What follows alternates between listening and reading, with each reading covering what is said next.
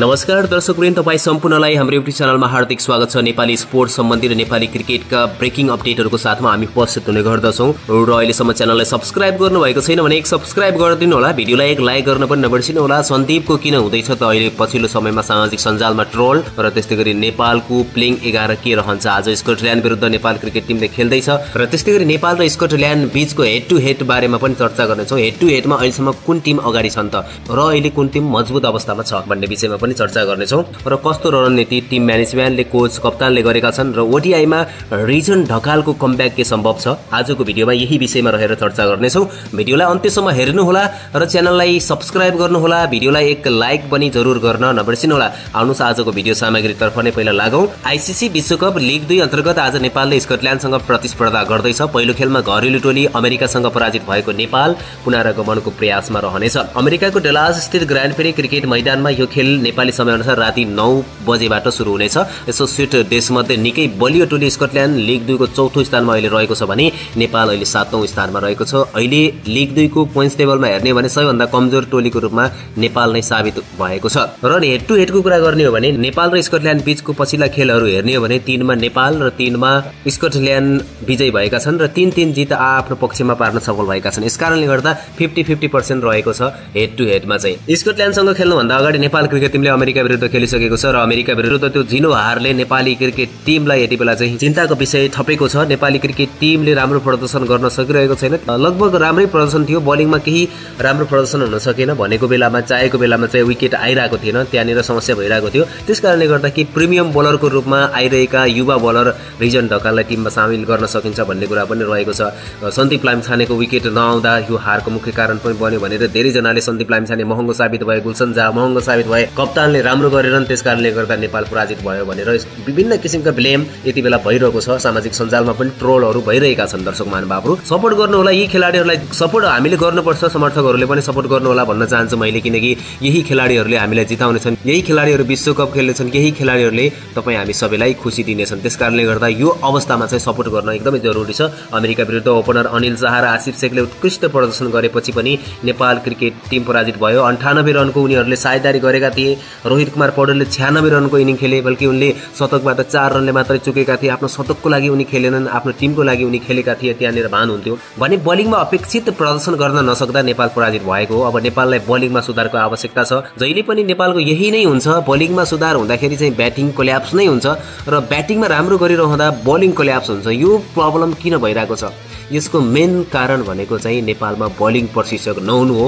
मलाई जहाँसम्म लाग्छ बलिङ कन्सल्टेन्ट नहुनु हो। नेपाल क्रिकेट सङ्घ यस विषयलाई किन ध्यान दिँदैन? अन्य कुराहरूमा ध्यान दिनुभन्दा जस्तै मेन्टर राखिरहेको छ होइन कन्सल्टेन्ट राखिरहेको छ हेड कोच राखिरहेको छ। अब यिनीहरूको पनि आफ्नो काम त छ तर यो मेन्टर राख्नुभन्दा मेन्टरको ठाउँमा चाहिँ बलिङ प्रशिक्षक राखेको भए कति उत्तम हुन्थ्यो होला। नेपाली बलरहरूलाई रणनीति बनाउन क्याप्टेनलाई बलिङको रणनीति बनाउन कति सहज हुन्थ्यो होला। नेपाल क्रिकेट सङ्घ यसमा चाहिँ ध्यान दिनुपर्ने जरुरी छ। हामीले बलिङ राम्रो भएन बलिङ राम्रो भएन बलिङमा विकेट नै आएको छैन भनेर भनिन्छ। तर नेपालको बलिङ प्रदर्शन जहिले पनि ओभरअल रूपमा हेर्ने भने कहीँ न कहीँ नराम्रै भइरहेको छ भन्दा फरक नपर्ला। कहिले काहीँ धेरै जस्तो खेलहरू बलिङले जिताइरहेको छ त्यो हामीले देख्न सक्छौँ। त्यो बलिङ पिचमा चाहिँ नेपालका बलरहरूले काम गरेका छन् विकेटहरू लिइरहेका छन्। तर मेन समस्या भनेको कहाँ हुन्छ भन्दा ब्याटिङ पिचमा चाहिँ बलरहरूले विकेट लिन सक्दैनन्। हो त्यहाँनिर रणनीति आवश्यकता पर्छ। अब सधैँ जसो बलिङ पिचमा त खेल्नु मिल्दैन। कहिले काहीँ ब्याटिङ पिचमा पनि खेल्नु पर्ने हुन्छ। हो त्यहाँनिर चाहिँ अग्नि परीक्षा हुने गरेको छ बलिङको। तपाईँले नोटिस गर्नुभएको छ भने धेरै पहिलादेखि नै यो समस्या आइरहेको छ। अहिले मात्रै ब्लेम गर्नुभन्दा पनि कप्तानलाई ब्लेम गर्नुभन्दा सन्दीपलाई ब्लेम गर्नुभन्दा चाहिँ नेपाली क्रिकेट सङ्ख्यानले चाहिँ यो कुरामा ध्यान दिनुपर्छ जस्तो मलाई लाग्छ। किनकि बलिङ कोच चाहिँ हायर गर्नुपर्ने हुन्छ। छिटै नै हरेक टिममा चाहिँ बलिङ कोच हुन्छ। नेपालको टिममा चाहिँ किन बलिङ कोच हुँदैन? एउटा उच्च कोटीको बलिङ कोच ल्याएर हेरौँ न। बलिङ कोच ल्याएर हेर्ने हो भने यी खेलाडीहरूले यति राम्रो गर्न सक्छन्। उनीहरूलाई आफ्नो रोल दिनेछ। अब नेपाली प्रिमियम बलरहरू छन् जुन ओपनिङ बलर छन् डेट ओभर बलिङ गर्ने बलरहरू छन् उनीहरूलाई योर्करै गर्न आउँदैन। कहिले पनि मैले योर्कर गरेको देखिरहेको छैन। योर्कर बोलिङ गरे भने फुल टच दिन्छन्। हो त्यस्तो खालको कुराहरू भइरहेको छ। यी कुराहरूलाई सुधार गर्नको लागि त प्रपर बलिङ कोच नै आवश्यकता पर्छ जस्तो मलाई लाग्छ। हामीले पुरै टिमलाई ब्लेम गर्नुभन्दा सन्दीप लामिछाने एक्लैलाई गर्नुभन्दा र रोहित कुमार पौडेलको कप्तानी भएन भन्नुभन्दा यो कुराहरूलाई चाहिँ नेपाली क्रिकेट सङ्ख्याले पनि ध्यान दिँदैछ। यदि बलिङ कोच हायर गर्छ भने यो टिमले उत्कृष्ट गर्न सक्छ यो टिममा विश्वास छ अझै पनि हन्ड्रेड पर्सेन्ट राम्रो गर्न सक्छ भन्ने लाग्छ। र सामाजिक सञ्जालमा पछिल्लो समयमा निकै नै चर्चा भइरहेको छ कि सन्दीप लामिछानेले विभिन्न खेलाडीहरूलाई अनफलो गरेका छन्। कुशल मल्ल बाहेक सबैजनालाई अनफलो गरिदिएका छन्। केही नराम्रो भइरहेको छ भन्ने जस्तो टिका टिप्पणीहरू पनि भइरहेको छ। एउटा स्टाटस पनि आएको थियो सन्दीप लामिछानेले आफ्नो पोस्टमा स्टोरीमा पनि राखेका थिए कि आफ ब्लेम जति सबै मलाई दिनुहोस् भन्ने जस्ता कुराहरू। र सन्दीप लामिछानेको हदमा भन्नुपर्दा पनि सामाजिक सञ्जालमा सन्दीप लामिछाने यति धेरै एक्टिभ छन्। त्यो एक्टिभ हुनुको कारण के हो त? यो सिरिजहरू भइरहेको बेलामा होइन इम्पोर्टेन्ट म्याचहरू भएको बेलामा त गेममा फोकस गरौँ न। यो टिम म्यानेजमेन्टको कमजोरी हो जस्तो लाग्छ। सामाजिक सञ्जालहरूमा किन यति धेरै एक्टिभ हुनु परेको? किन लेख्नु परेको? हरेक कुराहरू भन्ने कुराहरू जस्तो छ र सामाजिक सञ्जालमा सन्दीप लामिछानेका फ्यान्सहरूले पनि आक्रोशित भइरहेको छन् सन्दीप लामिछानेलाई ट्रोल गरिरहेको भन्ने कुरा छ। जहाँसम्म मलाई लाग्छ सन्दीप लामिछाने उत्कृष्ट खेलाडी हुन् र उनी रहनेछन् र उत्कृष्ट प्रदर्शन पनि गर्नेछन्। कहिलेकाहीँ खेलाडी हो तलमाथि भइ नै हाल्छ र यो ओडिआईमा साठी पैँसठी रन भनेको चाहिँ केही पनि होइन। त्रिसठी रन खाँदैमा चाहिँ सन्दीप लामिछानेले राम्रो प्रदर्शन गरेन भन्नु चाहिँ उचित हुँदैन जस्तो मलाई लाग्छ। किनकि ओडिआई क्रिकेटमा नौ दस ओभरमा साठी पैँसठी रन दिनु भनेको त्यो सामान्य नै हो। एभरेज हिसाबमा भन्नुपर्दाखेरि चाहिँ विकेट मात्रै आएको थिएन। त्यहाँनिर पनि क्याच ड्रप भएको हामीले देख्दैनौँ। सामाजिक सञ्जालमा ट्रोल गर्न हामी आउँछौँ। त्यस कारणले गर्दा यो सबै कुराहरू बन्द गरौँ। खेलाडीहरू उत्कृष्ट छन् उनीहरूलाई सपोर्ट गरौँ। सन्दीप लामिछानेको ब्याट लक पनि भन्नुपर्छ। केही विगतमा उनी खेलेका खेलहरूमा निकै क्याच ड्रपहरू पनि भइरहेका छन्। यसलाई पनि हामीले हेर्नुपर्छ। त्यो क्याच ड्रप नहुन्थ्यो भने यदि अमेरिका विरुद्धको खेलमा पनि त्यो अन्तिम ओभरमा उनको बोलिङमा चाहिँ अम्पायरले चाहिँ गलत डिसिजन दिए प्याटमा लागिरहेको थियो त्यो एलबिडब्ल्यू आउट दिएनन् र अर्को कुरा कुशल भोटेले एउटा क्याच मिस गरे त्यो क्याच हुन्थ्यो भने सम्भवतः जित नेपालको पक्षमा हुन सक्थ्यो।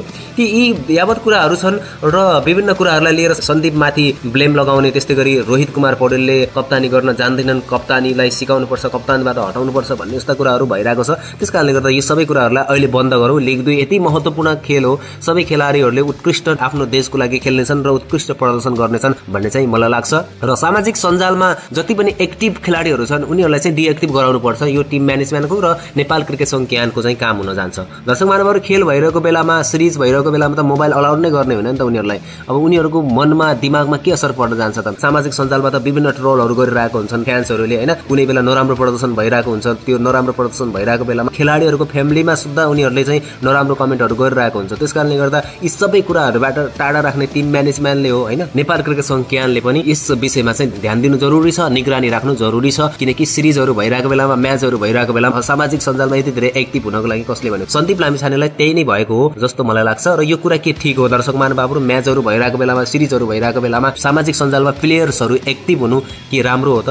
यो सङ्केत राम्रो होइन नि त। त्यस कारणले गर्दा म्याच हारिसकेपछि त त्यहाँबाट प्लानिङ गर्नु पर्यो नि त। हामी कहाँ चुक्यौँ? हामीले के गर्नु पर्दा अझै उचित हुन्छ भनेर सबैजना एकजुट भएर गर्नु पर्यो नि त। अब त्यो टिममै मनमुटाव छ भने गुट उपगुट छ भने त त्यो टिमको लागि फाइदाजनक विषय होइन। त्यस कारणले गर्दा यी कुराहरूमा ध्यान दिनु जरुरी छ। नेपाल क्रिकेट सङ्घ ज्ञान नेपाल क्रिकेट सङ्घ ज्ञानका सेक्रेटरीले ध्यान दिनु एकदमै धेरै आवश्यकता छ। जे पनि हुनसक्छ टिममा यस्तै कुराहरू हुँदा एकदमै ब्लास्ट भएर निस्किनेछ पछाडि। त्यो भनेको नेपाली क्रिकेटको लागि नराम्रो हो र नेपाली क्रिकेट दुर्गतिको पथमा जानु हो। तपाईँको विचार तलको कमेन्ट बक्समा लेख्नु होला यस विषयमा। र दर्शक बारमा पनि अर्को कुरा के छ भन्दाखेरि रिजन ढकाललाई बोलिङमा ल्याउनु पर्थ्यो किनकि उनले टी ट्वेन्टी आईमा पनि राम्रो प्रदर्शन गरेका थिए। उनले इनस्विङहरू पनि राम्रो गर्छन्। उनीसँग बोलिङमा पनि राम्रो भेरिएसन छ जस्तो लाग्छ। त्यस कारणले गर्दा उनको बोलिङमा खेल्न विपक्षी ब्याटरहरूलाई त्यति सहज पनि छैन र स्कटल्यान्डको ब्याटरहरूले त कहिले पनि खेलेका पनि छैनन्। त्यस कारणले गर्दा आज चाहिँ करण केसीको ठाउँमा हुन्छ अथवा ललित नारायण राजवंशीको ठाउँमा हुन्छ। रिजन ढकाललाई चाहिँ टिममा भित्राउनु पर्छ जस्तो लाग्छ। त्यही चेन्जेस चाहन्छु मैले। अरू त कुनै चेन्जेस छैन। कुशल मल्ललाई पनि टिममा राख्न सके राम्रो हुन्थ्यो जस्तो लाग्छ।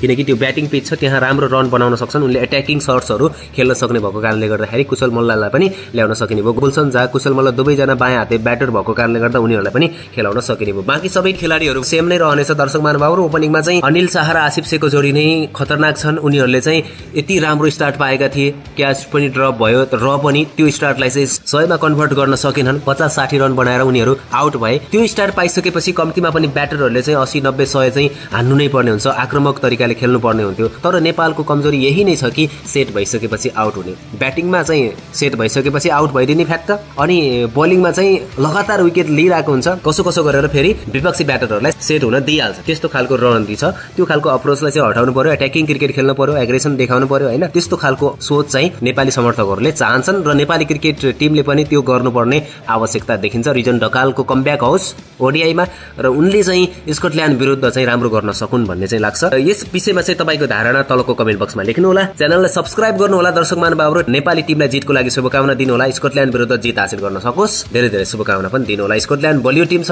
यो टिम विरुद्ध जित हासिल गर्नुपर्ने हुन्छ दुई अङ्क हासिल गर्नुपर्ने हुन्छ।